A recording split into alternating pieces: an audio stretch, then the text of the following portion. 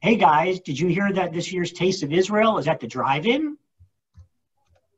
Oh, I did. That is so cool. What's the movie? It's an Israeli film called The Electrifiers. I looked at the trailer. It looks great. That's so exciting. What about food? And when is it? It's on October 22nd at Shelby Farms. Gates will open at 5:30 and I heard the food's going to be really great.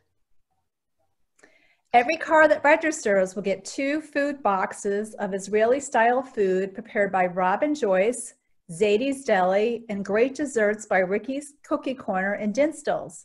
But we must stay in our assigned spots and wear masks if we leave because of COVID.